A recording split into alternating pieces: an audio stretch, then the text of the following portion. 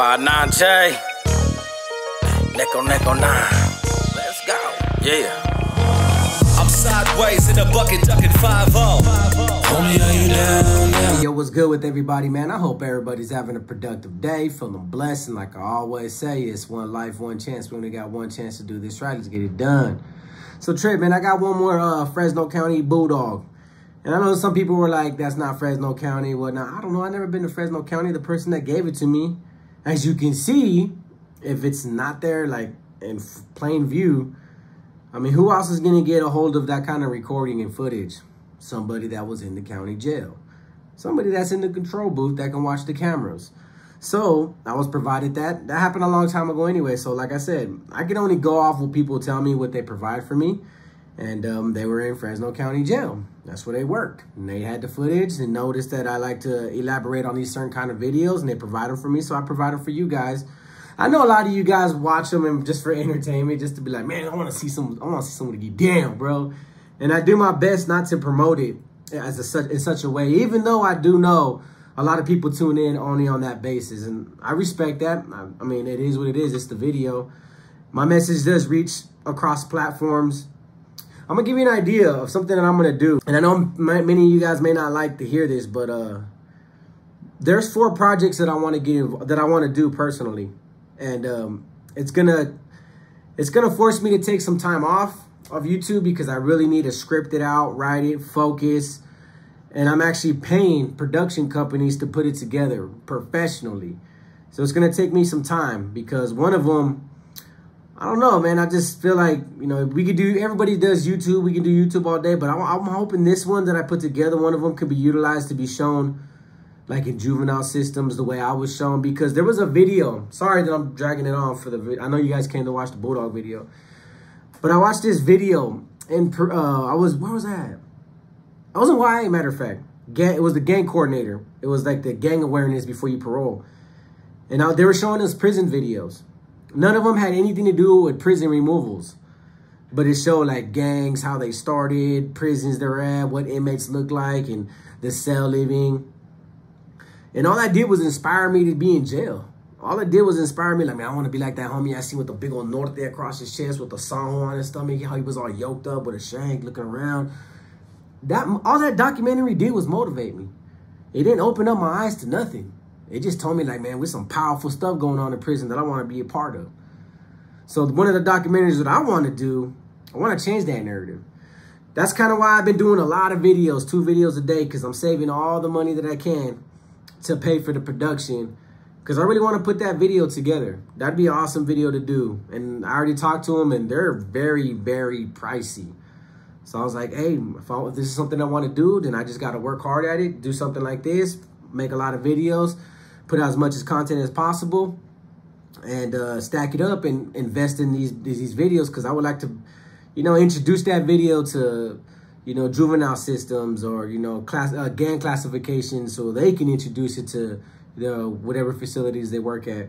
It'd be awesome to create a video like that. So that's my goal. I don't know when it's gonna happen. I don't know when I'm gonna take the break. That way I can just sit there and focus because I have a lot of stuff that I can't post on YouTube. Stuff that people sent me and uh, like removal pictures. I have my removal pictures. I have pictures of people that I stabbed, ride videos, all kinds of stuff, man, that I can't post on YouTube. And I try my best. I share them with people. But then I thought about it. I was like, I don't want to do a book. I want to do a documentary. I want to create one of the best documentaries ever. But in order to do that, I really need some time. So we'll see. I'm not saying it's going to happen yet. But let's get into the video of the Bulldogs. Now, as you seen with the thumbnail, dude, I'm not lying when I say 25 deep.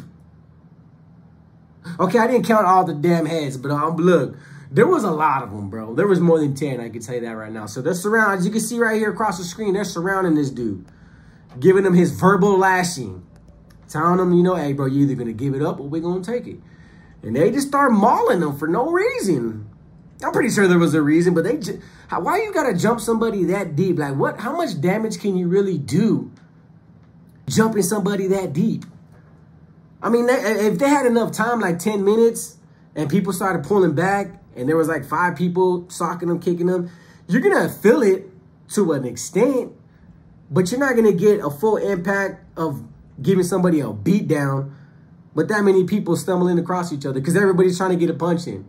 And I'm pretty sure half them dudes that didn't even punch him are gonna go back to the cell like, man, I socked him in the ear, bro. It's all swollen. I hit him in the back of the head and snot flew out his nostrils. I'm pretty sure somebody said that because I used to see that a lot. When I got in some riots, dude, I was involved in the riots. The paperwork has my name involved in the riots. And there'd be people in the yard like, yeah, I was in it. I'm like, first of all, no, you weren't. You know, your name's not on the paperwork. But I didn't get caught. Second of all, I was there for all of it.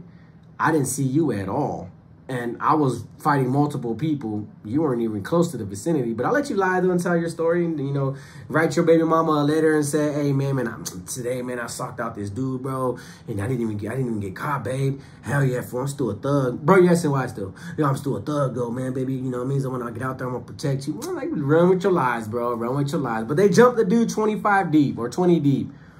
You know who does that a lot? The two fivers, dude I would swear, bro. Every time we would go be on the yard chilling, we'd be eating sodas, chips, ice creams, busting a unity spread for the riders, and then here comes twenty of them walking our direction. Like, first of all, it only takes one of you to come, like, "Hey, fool, we're gonna we're gonna lay the yard down right now." Yeah, just can, can you stay? We're gonna we're gonna knock them down over here. Can you stay over here real quick so none of your people get hurt? They be pulling up to the table twenty deep. But what's up, fools?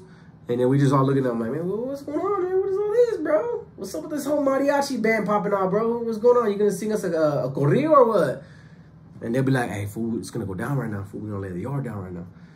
Okay, then go do it. You, you ain't gotta ask us. You ain't gotta tell us, but We, we really don't care, bro. Because you guys do it all the time anyways. As long as we get our canteen, that's fine. But they jumped somebody one time. And I want to say they jumped them 10 deep. 10 deep. They jumped them on the handball court. Honestly, you know what it looked like? It looked like like a football huddle. Like they were in one big circle and they were just moving slowly like this. Like if they were just giving each other cadences and like, oh, we're gonna do this. It's game time. Well, that's what it looked like. You couldn't tell nobody was punching them. And there was people trying like like jumping back and forth, skipping, trying to get in between bodies. I don't I don't even think they landed a punch. So the dude's getting jumped 20, 10 deep, should I say. So the dude's getting jumped 10 deep. And then they, they shoot, they throw like three bombs. Everybody separates. And all you hear is two five, whoop, whoop, and I lay down. Dude, the dude literally got up and walked away from the bombs towards the left, towards the canteen wall, and was just looking back, just smiling. And these fools like swore they did something, like they did irreparable damage. And that's one thing that we made fun of that day. We're like, damn, fool, 10 of you fools on this. First of all, they're all the same size, and the dude they jumped was the same size as the rest of the guys. So it looked like, you know, one big old midget brawl. And the dude walked off laughing. So I remember we were laying down and I was uh, was talking to the homie Cisco and the homie Boogie. Boogie's a Latin king slash rider from New York. Gotta tell you his story one day. And sure enough, man, like he was just laughing. I'm looking at the homie like, damn, fool, your victim get up laughing at you, bro, that's embarrassing, bro. I hope that don't ever happen to us. And during my time, it never happened to us. I'm not saying it didn't happen to anybody else, but during my time, it didn't happen. That fool left the yard without a scratch on him. So I never really got the concept of jumping somebody 10, 20 deep. But, you know, no rules. There ain't no rules in fighting. That's what people used to tell me, too, in prison. I used to be like, hey, there is rules, bro. Like, you a sucker, bro, if you hit me in my my, my nas, bro, in my in my sack. Ain't no rules, fool. Ain't no rules. I'll squeeze them, bro. I'll bite them if I have to. And I hated that stuff because there was people in jail that did that. They fight their cellies. I'm like, yeah, man, I punched them in the D. Hell yeah, bro. Ain't no rules, bro. I squeezed him. I, I choked him. I bit him on his arm. My celly got his finger bit off in a fight. And I was like, and I said the same thing. I was like, bro, that's sucker stuff, man. Like, man, fight, man. Like, to me, a fight is like head up from the shoulders. You don't meet me with the shoulders. If you whoop me, you whoop me. I'm fine with that. Even though somebody's going to jump in for me, which is pretty stupid, but it happens. You know, that's what I think. Just, hey, if I can knock you out, I can knock you out. If you can knock me out, none of that extracurricular stuff. This ain't, but you want to want something that's funny? You know how many people grow their hair out on the SNYs and get into a fight and there ain't no rules. They'll pull your hair on the SNY. And I should be like, I could never do that. And I would hear rumors like, why not, bro? We want to grow his hair out, bro. I can grab a hold of it. Just throw him around. Every time I yank his head back, bro, he can't fight. He's too busy worried about his hair. Like, nah, to me, there's rules in fighting. Just meet me with the shoulders. Punch, punch, punch. You want to kick? Kick. You kick me in the, in the nads, that's that's a low blow, bro. That's a point. You know, they're gonna card you for that. But they jump. They.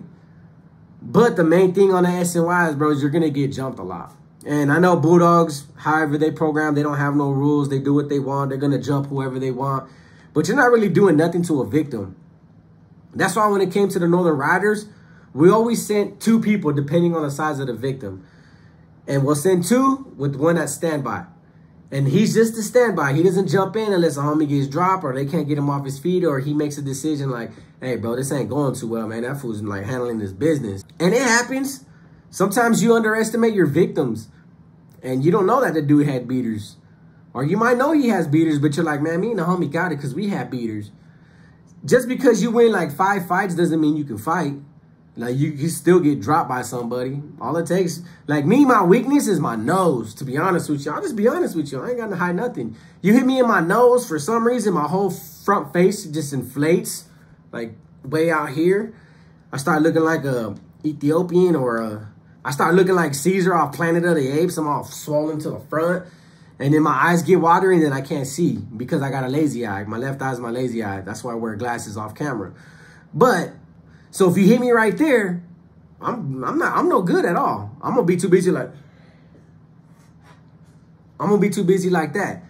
So I never understood why. Like I get it, it's stupid. We're gonna jump somebody three on one. It's a coward move. I've seen a lot of people in my comment sections all over TikTok say jumping somebody is a coward move. It really is. You know, maybe it'd be a cool. Maybe things would be different. If, okay, you want this four off the yard? You want to you want to remove him for whatever reason? Fight him one-on-one. He, he wins, he stays. You win, he goes. It'd be cool like that. It'd resolve a lot more issues and with a lot less violence and a lot less, you know, DA referrals. But, you know, the concept of jumping somebody is because you don't want to lose. Now, I don't know why the dudes in Fresno County Jail jumped him. Why they decided to beat him up so bad. 20 deep. But more, more likely they just did it because everybody was just bored. Everybody wanted a war story. Everybody wanted to get involved. You know, that's something people just get involved in when they ain't got nothing else to do. You know, idle hands is, a terrible thing. And boredom will make you do the most stupidest things while you're incarcerated. Believe me when I tell you that. But imagine that. If that was the concept, hey, you want this fool gone? Then you got to do it. But if he wins, he stays. But if you and if you lose, shut your mouth. Let it be. Let it go. It's a dead issue. Because I never seen this with the Norteño program. But I seen it back in the day with Sureños. Two Sureños got a problem. And they really needed to hash it out. And the Meseros couldn't do nothing about it. Okay, go out to yard. And you go out to yard. Both y'all with bangers. See who wins. But you guys are to oh, clean up after this. And you guys are to get fined after this. But go ahead. Figure it out. Do what you guys got to do since you guys can't seem to let it go. Imagine that. Because I've seen one-on-ones on the, on the yard with the blacks and the whites and the sureños. Norteños don't allow it. Even on the streets, when you get deemed no good or you get dropped from your hood, they still jump you. You know, I never, if you really think about it, like, where did the concept of jumping come from? Like, whatever happened to the good old-fashioned one-on-ones? Because I got a lot of one-on-ones under my belt when I was a kid in my hood. I got scraped a lot, but I still fought. My YAs were one-on-ones. The riots were the only thing that we were jumping people. But when we go to jail, everybody's jumping everybody. Like there's there you rarely ever see a one-on-one -on -one fight. When you do, like I said, most of the time it's with the blacks because their politics are different. So it's cool to see. I mean, I hate to say it like that, but it's cool to see a one-on-one -on -one once in a while. None of that blades and knives chasing everybody. Like you see grown men hashing it out. Best man wins. Pride and respect and shake hands. They didn't even have to shake hands. They just come back like, hey, man, I lost, so what? But me and that fool dealt with it. The old school days are done and over with. That's why I'm a big fan of uh, street brawls and ghetto brawls on YouTube. They even have uh, Bakersfield backyard brawls. I watch them a lot. That's one of the things I wanted to do. I always told myself if ever, you know, YouTube just runs out for me, that I wanted to go uh, just start training and just do regular little backyard fights, you know, professional backyard fights, maybe go to the casinos and, you know, like like in, in, in, in Lemoore, in Kings County, they got grudge matches. And I guess you can go fight in the casino, $500 if you lose, a 1000 bucks if you win. I don't know if they do it no more. But when I heard about that, I was like, I don't get my butt whooped for $500 in one night.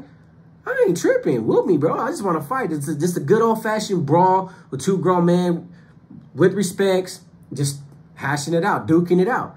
But like I said, those days are over. Now you getting jumped 20 deep. So with that being said, like I always say, it's one life, one chance. We only got one chance to do this right. Let's get it done. Peace.